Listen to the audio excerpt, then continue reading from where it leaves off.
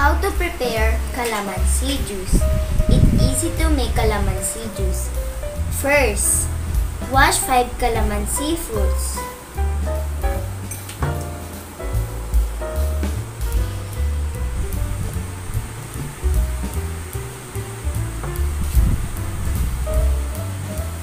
Second, cut them in the middle crosswise.